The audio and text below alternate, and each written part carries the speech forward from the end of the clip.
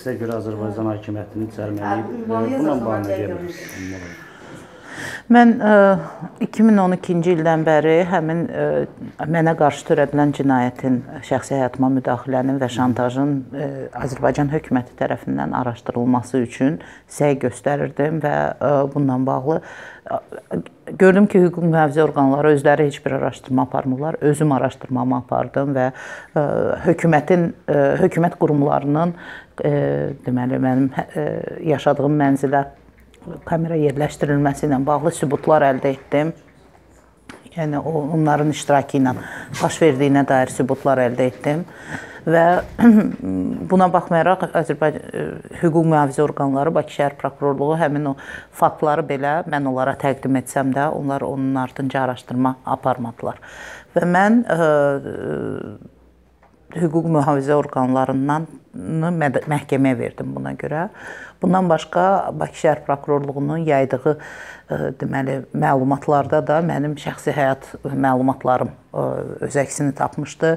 Özümün, dostlarımın ev ünvanları, iş yerləri və s. ilə bağlı məlumatlar öz əksini tapmışdı və mən buna görə də Bakı şəhər prokurorluğunu məhkəməyə verdim. Əlbəttə ki, uzun çəkdi. Avropa məhkəməsində bunun baxılması və deməli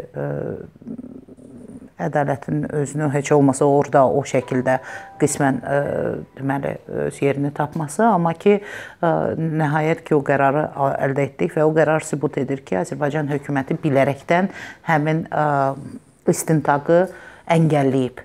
Və bu da Azərbaycan hökumətinin sırf mənim hə, şəxsi həyatıma müdaxilədə, mənim şantaj olunmamda rolunu sübut eləyir. Bundan başqa onlar mənim şəxsi həyat hüququmdan başqa həm də söz azadlığımı pozulduğu barədə qərar veriblər. Bu deməkdir ki, Azərbaycan hökuməti həmin o cinayəti, həmin o qanunsuz addımları məhz jurnalist olaraq məni susturmaq üçün edib. Və bununla iş bitmir. Əlbəttə ki, ədalət öz yerini tapmayıb. Nə mənim ə, evimə kamera yerləşdirənlər, nə məni şantaj edənlər tapılıb cəzasına çatdırılmayıb və mən bu ə, bunun baş verməsinə qədər mübarizəni davam etdirəcəm. Ümumi olaraq üst-üstə bu iki hər iki xüsusiyyətə görə nə qədər Azərbaycan hökuməti cərimə olunubdur? Cərimə 15 min avro mənə cərimə ödəməlidir. Üstəlik 1700 avro da mənim vəkilimə deməli ödənməlidir və bu kompensasiyanın azlığı və çoxluğu məsələsi deyil. Məni Avropa məhkəməsinin qərarında qərarın ancaq kompensasiya ilə bağlı olması qane etmir. Yəni mən istərdim ki, Avropa məhkəməsi açıq mətnlə yazsın ki, və deməli Azərbaycan hökumətindən tələb etsin ki, istintaqla bağlı konkret addımlar qoyulsun və bununla bağlı vaxt qoysun. Lakin Avropa məhkəməsinin belə bir e, proseduru yoxdur. E, ümumi olaraq konvensiyaya görə və Avropa məhkəməsinin qaydalarına görə bu e, belədir ki, hökumət həm də hüquqi addımlar atmalıdır, təkcə kompensasiya ödəməməlidir. Həm də hüquqi addımlar atmalıdır və mən o hüquqi addımları da tələb edəcəyəm hökumətdən. Deməli siz artıq Mehman Hüseynova və ümumiyyətlə həbsdə həbsxanalarda Azərbaycan hakimiyyətinin e, birinci həbsi qurtarılmamış, ikinci e, həbsi aşmağına görə azlıq aksiyası keçirirsiniz.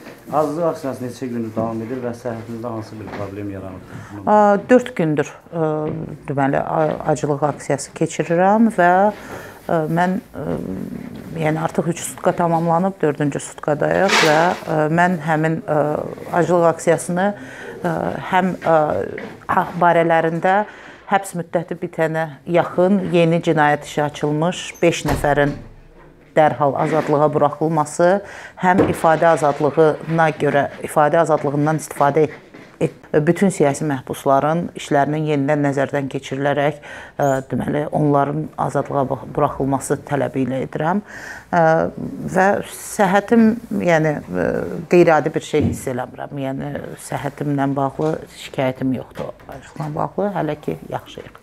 Ümumi olaraq sizin keçirdiyiniz azadlıq aksiyasına görə beynəlxalq təşkilatlardan və yaxud da Azərbaycan hakimiyyətinin hakimiyyətinə təmsil olunan ombudsmandan və ya deməli parlamentdə İnsan Hüquqları Komitəsindən hər hansı bir gəlib sizlə maraqlananlar olub bu və yaxud da heç olmasa yazışmalarınız varmı bununla bağlı?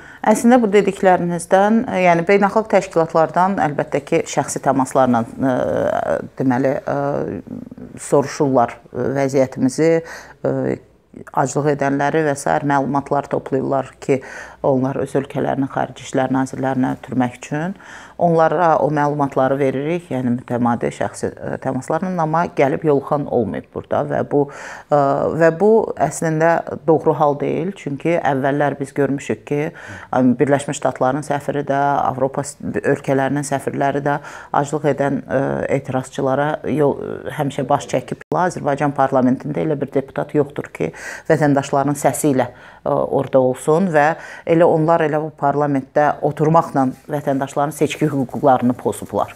Və ona görə mən hesab edirəm ki, mən insan haqqlarının pozulması nəticəsində parlamentə düşmüş insanlardan insan haqqlarının müdafiəsini gözləməməliyəm və onlardan heç bir gözləntim yoxdur.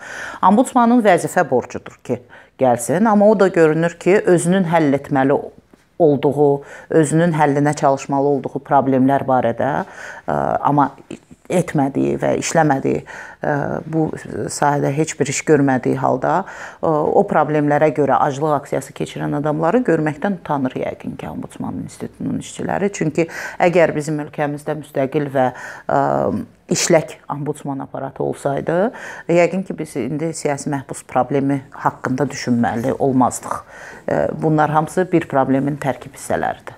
Ümumi olaraq beynəlxalq təşkilatlar Azərbaycan hakimiyyətinə baskı edərsə, Azərbaycan hakimiyyəti geri çəkilmək və yaxud da bu məsələlərə, siyasi məhbusla, məhbuslarla bağlı məsələləri və yaxud da Azərbaycan Azərbaycanda yerləşən jurnalistlərə qarşı baskıları dayandırmağa bir qədər müsbət tendensiya əldə oluna bilərmi? Yəni Biz bunun nümunələrini görmüşük ki, deyək ki, beynəlxalq təşkilatlar kifayət qədər ciddi şəkildə, xüsusilə də sanksiyalardan danışarkən Azərbaycan hökuməti repressiv addımlardan çəkinir. Və mən bunu geri çəkilmə adlandırmaq istəmirəm. Bu irəli addım olacaq. Mən istəyərdim ki, Azərbaycan hökuməti bunu özü üçün geri çəkilmə hesab etməsin. Bunu irəli addım hesab eləsin.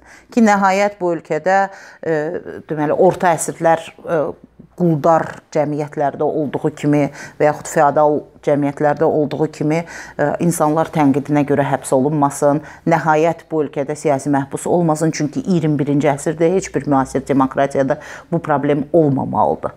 Və indi biz e, biz hal-hazırda olduqca geriçi, olduqca geridə qalmış köhnə fikirli hökumətlə, hökumətin idarə etdiyi cəmiyyətdə yaşayırıq və mən ümid eləyirəm ki, hökumət bu islahatları bu islahatları özü üçün geri çəkilmə kimi yox, irəli addım kimi hesab etsin və nəhayət bu geriçi, geridə qalmış köhnə fikirli addım siyasətinə son qoysun. Bir də bax son zamanlar bloqer və ya jurnalistlərin küçədən aparılması və demək olar ki, onların peşə fəaliyyətini yerinə yetirərkən onların polis bölmələrində saxlanılmasına münasibətiniz necədir? Yəni bu yol verilən haldır, yoxsa yol verilməz? Əlbəttə ki, e, istənilən e, jurnalistin peşə fəaliyyətini yerinə yetirərkən istənilən vətəndaşın hətta heç bir e, heç bir cinayət törətmədiyi halda polisə aparılması, vaxtının alınması, saxlanması, hələ sonra bəzi hallarda hətta inzibati həbsə məhkum olunması bu yol verilməz hallardır və təəssüf ki, biz bunu dəfələrlə görürük və mən bir də onu xatırlatmaq istəyirəm ki, mən 2013-cü e, ildə aksiyada iştirak etdiyim zaman hət, hətta altını cizirəm, mən vətəndaş olaraq iştirak etmişdim o aksiyada. Mən orada jurnalist deyildim və bunu dəfələrlə dedim. Həmin aksiyada iştirak etdiyimə görə hə, etdiyim zaman saxlanılmışdım. 6 saat ə, polis bölməsində saxlanılmışdım və sonra cərimə olunmuşdum 400 manat məbləğində. Sonra o cəriməni məndən tələb etmişdilər. Mən cəriməni ödəməkdən imtina etmişdim və ondan sonra məni ictimai işlərə məhkum etmişdilər. Mən ə, yəni o işə o işi də Avropa məhkəməsində qazanmışam. Keçən il ondan bağlı, keçən il yox, 2017-ci ildə Avropa məhkəməsi ondan bağlı qərar verib və Azərbaycan hökuməti mənə 6000 avro, vəkilimə 2000 avro cərimə cərimə ödəməklə ödəməyə ödəməsi barədə qərar verib Avropa məhkəməsi. Və mən başa düşmürəm ki, Azərbaycan hüquq mühafizə orqanları Azərbaycan büdcəsini boşaltmaqda niyə belə israrlıdırlar? Niyə bu hərəkətləri edib, qanunsuz hərəkətləri edib Azərbaycan Azərbaycan Azərbaycan dövlətinin büdcəsinə belə ziyan vurmaqda israrlıdırlar. Çünki onlar bu həbsləri etməsələr şikayət də olunmaz. Məhkəmələr hüquqları hüququ pozmasa şikayətlər də olunmaz. Avropa məhkəməsi də o cərimələri kəsməz. Biz də istəyirik ki, Azərbaycan büdcəsindəki pullar xalqın difahına yönəlsin. Əlbəttə bununla bağlı da ciddi şübhələrimiz var ki, yönələcək, yönəlməyəcək, amma ki niyə bu Azərbaycan dövlətinin büdcəsi hüquq mühafizə orqanlarının, məhkəmə orqanlarının səhvlərini e, örtbasdır etməyə yönəlməlidir ki, niyə? Və e, məncə artıq e, hökumət bir göstəriş verməlidir ki, bu belə işlər görmək olmaz, çünki bu qeyri-vətənpərvər addımdır. Bu Azərbaycan büdcəsinə, Azərbaycan dövlətinin büdcəsindən oğurlanan pullardır həmin o hüquq mühafizə orqanları tərəfindən. Polis hər dəfə dəyənəyini qaldıranda Azərbaycan büdcəsinə ziyan vurur.